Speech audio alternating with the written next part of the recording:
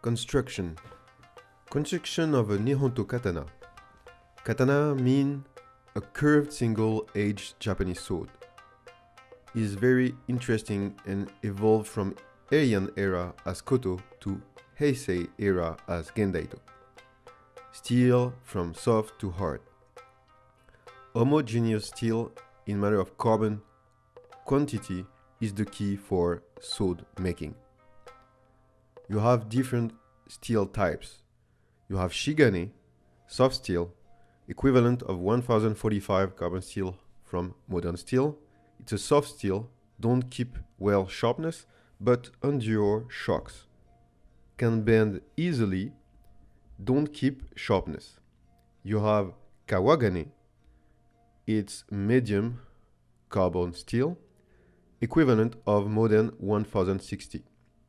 It has 0.6 percentage of carbon in the steel instead of the Shigane that has around 0.45 percentage of carbon in the steel.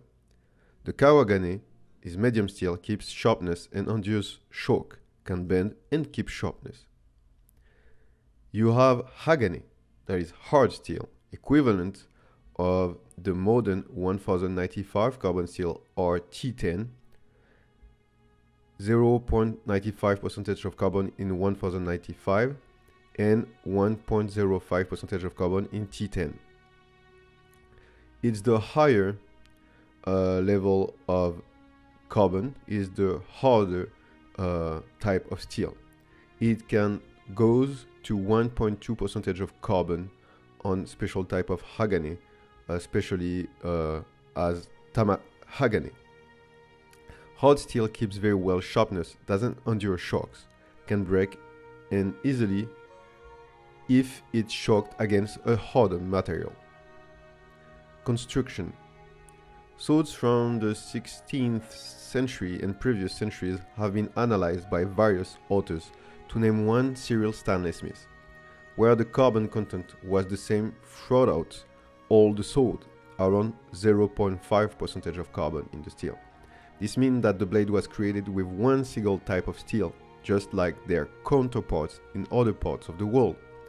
With cross section, it was possible to observe a blade made without the lamination method but with a single block of material. Were these swords inferior? No, not in terms of strength. In fact, they didn't have the welding lines inside the material and so no possible failure points on the other hand, they had a softer edge, which is by no means a pure disadvantage, especially when said swords were supposed to be used against armor, unlike the later ones.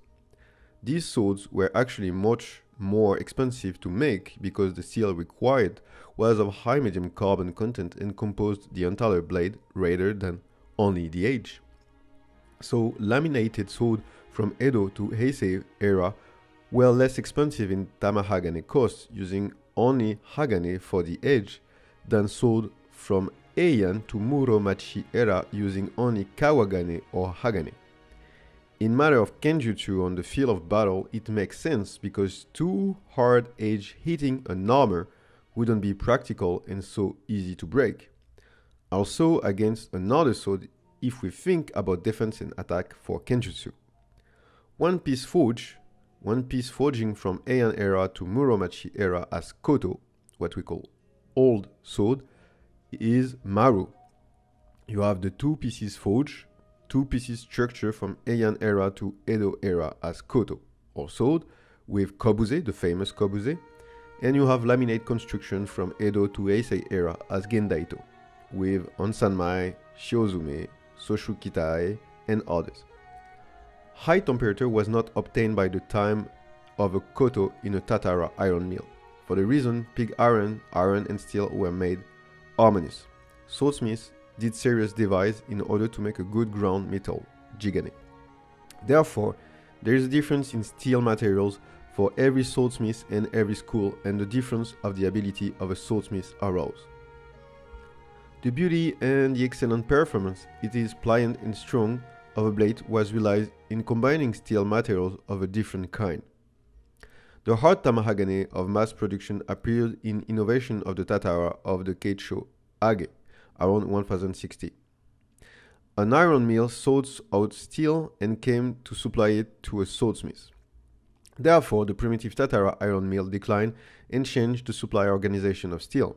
It was forced by swordsmiths to use this tamahagane without acceptance or declining.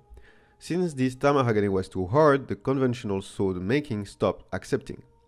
Then the structure of a new blade was invented, laminate construction.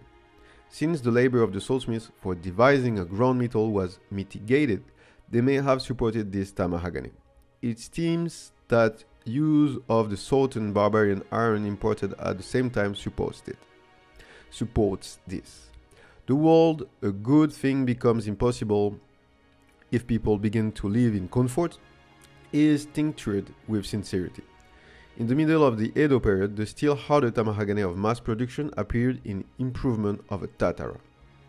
Did this mass production tamahagane contribute to improvement in arms performance and blade beauty? Reality was reversed rather. Compared with the Koto, it was proved from the testimony of a Polish and martial artist and verification in a battle that the performance of a sword and the beauty of a blade were retreating clearly. Iron and a man worsen as the time falls is true. A sword is still less than the level of a koto. The tamahagane myth obscures it. As long as the hard tamahagane of the uniform mass production is used, and one piece forging is inferior. Therefore, the laminate construction of hard steel and soft steel was devised. It is important to note that a katana in feudal times should not take any shock on the edge but instead on the sides or on the back. Mune, for Kenjutsu defense.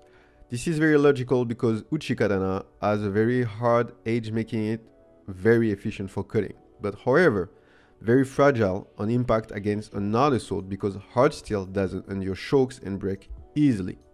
Contrary to Western swords from Middle Age, were less sharp but more flexible and resilient for defense on the edge, as affirmed Stefan Roth, swordsmith from Germany in Georg Sprague interview, Tensile strength is key. European swords are hardened all the way and act much like a spring.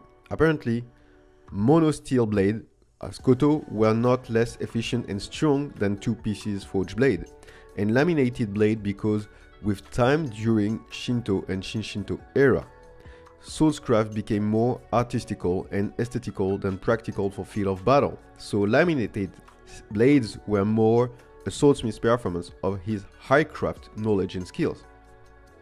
Geometry. You know the famous Shinogizukuri, a strong core with or without Niku, Shinogi Suji high or low, Shinogiji narrow or wide, Hiraji narrow or wide, with or without groove.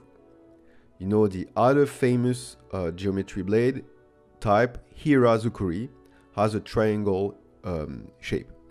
And you know, of course, the double edge uh, shape of geometry blade Moroha Zukuri.